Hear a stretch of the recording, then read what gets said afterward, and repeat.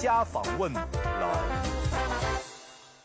各位晚安，欢迎各位收看我们一家访问人。哎，这个台湾的电影啊，今年下半年有十几部电影要出来，对要出国片。哎，对，那台湾电影真的很过瘾。那就像今年年初的时候，春节好几部电影，啊，各个电影的特色都不太一样。那等一下我们要介绍一部电影，啊，这部电影呢讲的很有意思，讲的是男女感情的问题，而且横跨三十三十年，嗯，哦，从高中一直到中年，啊，这样子恋爱过程。然后我们也谈谈这部电影，也谈谈各世代谈恋爱的感觉是不太一样的。有没有从小青梅竹马到现在还在教的？呃，就是认识三十年的女性，应该就是我妈妈了。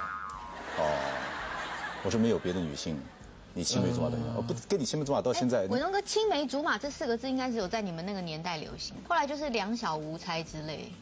哦，现在没有人这样骑木马在玩了。没有啊，哪有青梅竹马？今天要来节目中与大家谈一场跨世代恋爱的，就是气质女星桂纶镁与电影界炙手可热的混血帅哥凤小岳，还有这位两千零八年因拍摄电影《囧男孩》而备受关注的导演杨雅哲。今年夏天，他要带着最浪漫感人的爱情电影来纠结你我的心了。我觉得杨雅哲导演，我一直很诧异，他会拍男女爱